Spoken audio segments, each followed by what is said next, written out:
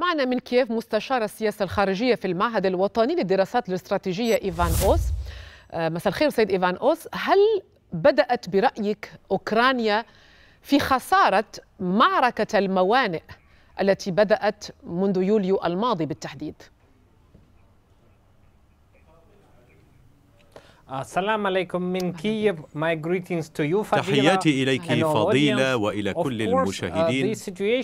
بالطبع مهم قضية الحبوب مهمة جدا لأوكرانيا حتى نفهم. لو أن مثلا في مارس 2023 اتفاقية الحبوب اللي كانت تكلف 1.2 مليار دولار. ففي يوليو كان بحوالي 300 مليون دولار فقط. حتى نفهم المشكلة حيث لم تستطع أوكرانيا استعمال البحر الأسود وكان لديها مشكلة مع الدول الأخرى.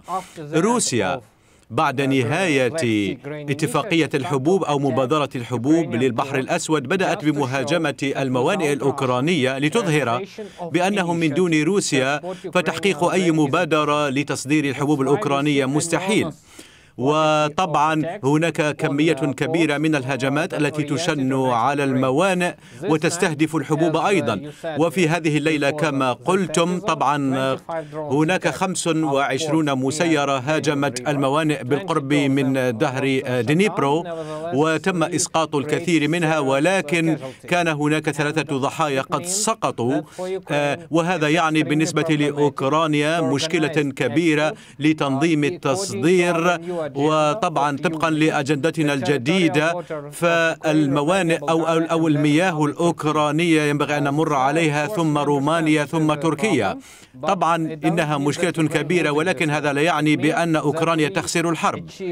هذا يعني بأننا قد قد حصلنا أو أو لدينا بعض المشكلات ونريد أن نحقق نتائج حين لن تؤدي تلك الهجمات إلى أضرار كبيرة. لأن 22 مسيرة دمرت. هذا ليس نتيجة سيئة ولكن بكل تأكيد نحن ننوي تدمير كل شيء يهاجم موانئنا. نحن نعمل على الأمر ونتحدث مع شركائنا لحل هذه المشكلة لتمرير الحبوب إلى كل العالم. طيب ماذا لو استمرت حرب المسيرات هذه على الموانئ الأوكرانية التي تصدر الحبوب؟ هل من بدائل أخرى؟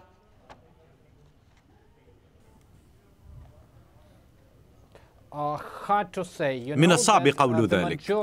أنتم تعلمون بأن أغلبية الصادرات من الحبوب الأوكرانية تمر عبر البحر الأسود.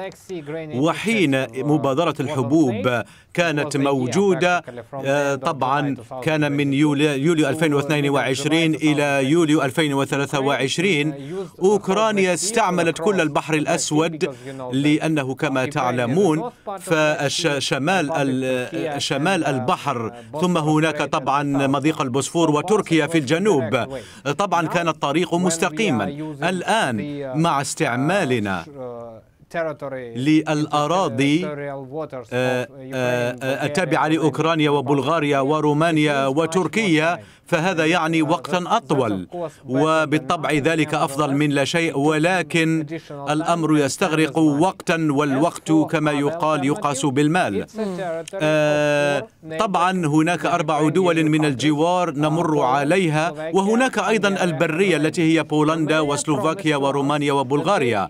رومانيا وعدت بأنها ستوسع شبكتها للطرق حتى تكون هناك خيارات أكثر للحبوب الأوكرانية ولتعبر ربما أربعة ملايين طن في الشهر ولكن الأمر يستغرق وقتا. ولكن أنا لست متأكدا بأن أوكرانيا يمكن أن تنجح في استعمال الطرق البديلة. نعم يمكن أن تغطي أجزاء من صادراتنا للحبوب ولكن ليس الكل. وهناك توقع للقاء بين الرئيس التركي أردوغان والرئيس الروسي بوتين والذي بعده نتوقع أن نرى عودة روسيا إلى تلك المبادرة.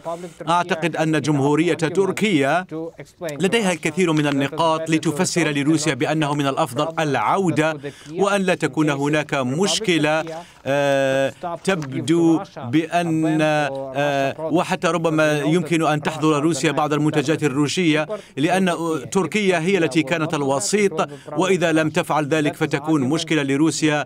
وهذه نقطة جدل سيشدد عليها الرئيس إردوغان في حديثه مع السيد بوتين. ولا ينبغي أن ننسى أيضا الخيارات بأن آه، أوكرانيا يمكن أن تهاجم السفن الروسية. أيضا ولا نظن بأن روسيا تريد أن يحدث هذا. شكرا جزيلا لك مستشار السياسة الخارجية في المعهد الوطني للدراسات الاستراتيجية إيفان أوس. شكرا.